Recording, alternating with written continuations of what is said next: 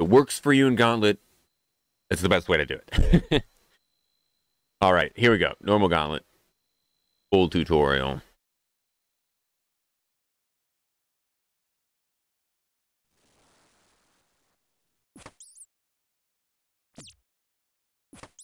So, we start off by getting full tier 1 armor.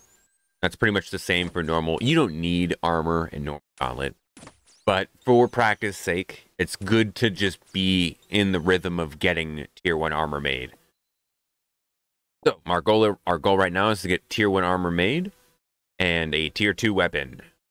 And as much food as we can, as well as the other supplies. I don't know how new you are to this exactly. I know you've seen me do it, but you're looking for about 230 shards or more by the time you get back to the prep room over there. And you need one of each resource. So one rock, one of the like linen plants, and one tree. That's it. So I pretty much just kill these until I have a decent amount of shards. You should get some shards from uh, fishing as well as chopping the tree and the rock and whatnot. Here's our tree. We're going to go ahead and grab all three of those. Perfect. We've got 24 shards. Another 16. That's lucky. 18 more. That is actually really good RNG for shards from the tree. It doesn't have to give you any. And then here's our rock. Go ahead and grab all three of those. And it looks like, okay, just the last rock gave us some shards. Only need 230 or more so we're looking really good on that. Here's our linen plant. So we'll go ahead and grab all three of those. Hope for the shards. And we didn't get any. All right, though. Bop one more rat here real quick. And then I'm just going to kind of mock this up like I'm doing a corrupted gauntlet. Uh, I grab three potions and drink a dose and decant it into them after. Like you'll see when we get to the end of the prep. So yeah, after you have one of each resource, fill up the rest of your inventory with, uh, you know, the three herbs you need. Some people only need two. Kind of depends. Get as much fish as you can, and uh, hopefully it's more than one. If it's one, it's okay, but hopefully it's more than one fishing spot as you go around, right?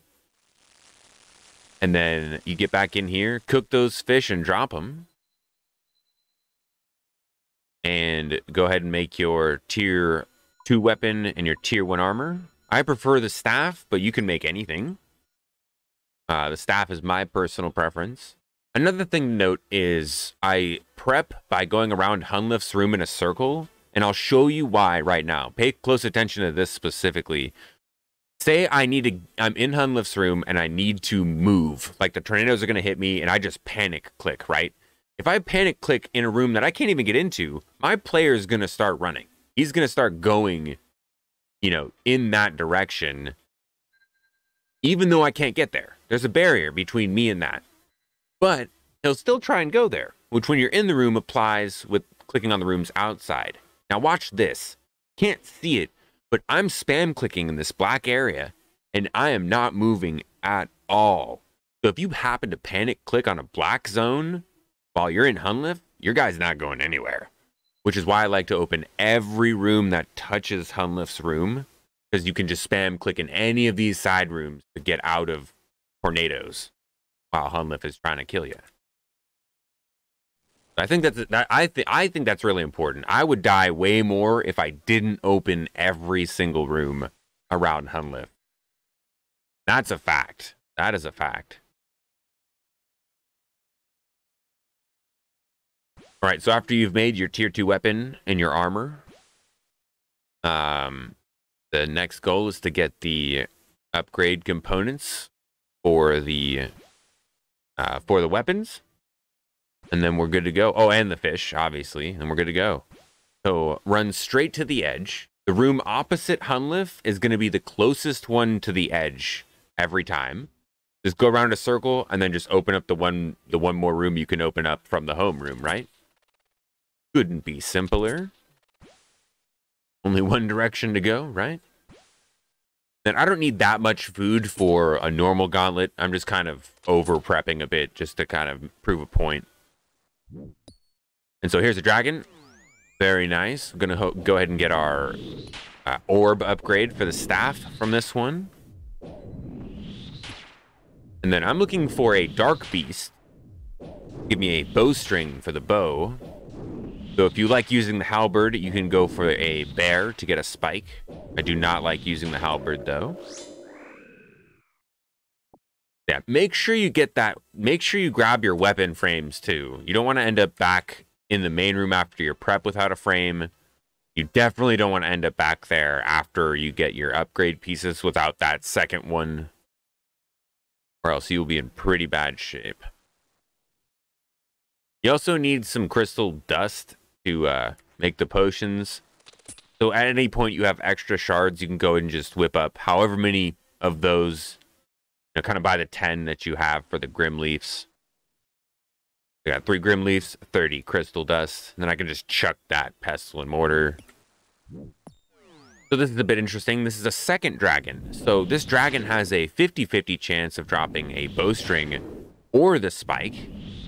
I'm betting it's going to drop the spike, but you never know. So we might be able to just call the prep done at this point if it gives that bowstring. Or I could just say, I'll go with the halberd. It's not a big deal. It is a big deal, though. And I don't have to worry about it because we did get the bowstring. And then, you know, if you get any extra fish or whatever, you can drop your your anything that you don't need anymore and uh, click that teleport crystal that they give you at the beginning. Then from here, it's super straightforward. Make your weapons into the uh, final form. You know, just keep clicking until it turns white again, I guess. You need vials for those potions, right? Then you can also fill these up at a fishing spot or here. In a normal gauntlet, it doesn't matter too much. Even in a corrupted, it doesn't really matter. But yeah, what I do is I make three of them. And then I drink a dose, because you're always low on run and probably some prayer. These are three dose potions that could be four. We can go in with eight doses instead of six. Which can be nice. There's some fights, especially in Corrupted, that last I mean, I'll drink, I'll need to be drinking doses out of those.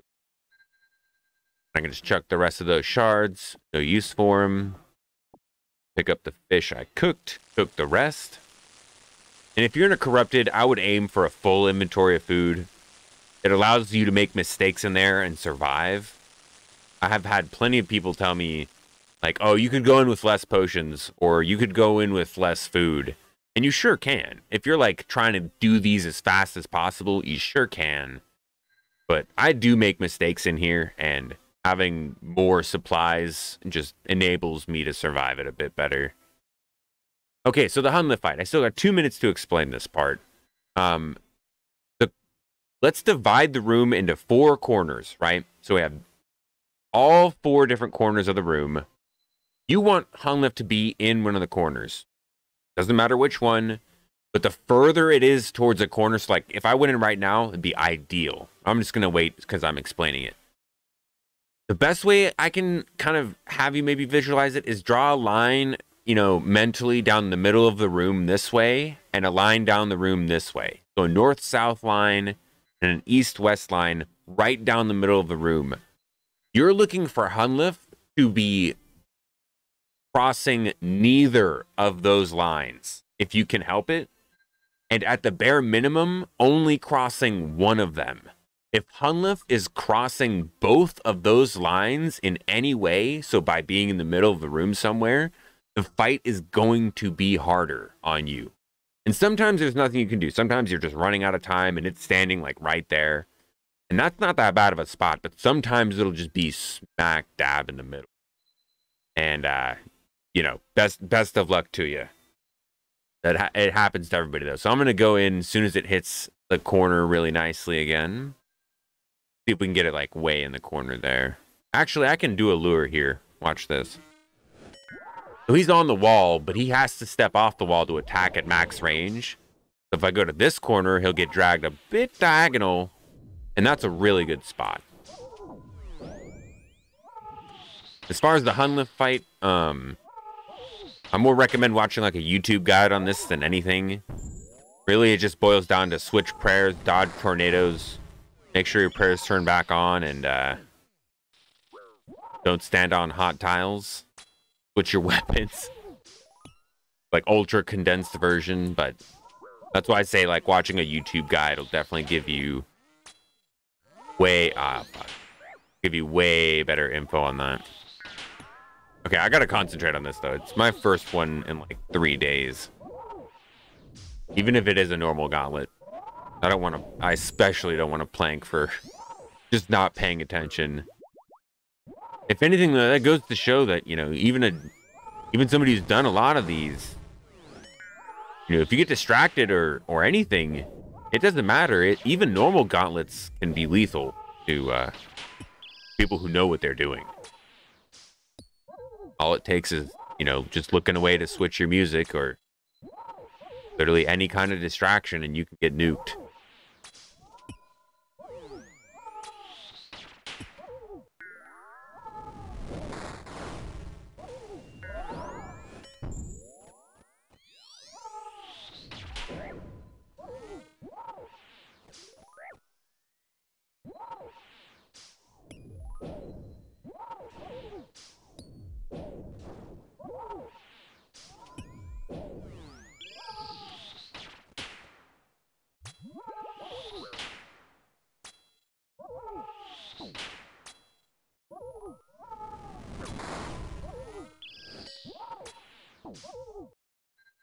One of the better ways to learn how to do this fight properly is probably just to watch somebody do it closely.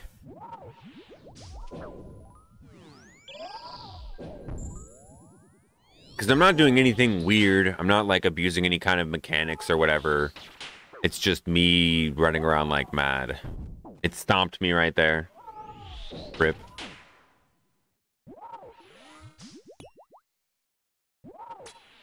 You can see how easy this is compared to the corrupted runs that you've most likely seen me do. Like, I'm basically just kind of fucking around and it's dead. Yeah, you never know. You could get lucky and score a blade or, or the pet from a normal gauntlet. It's rarer, but it's still it's still there. I mean, so could I. Never know.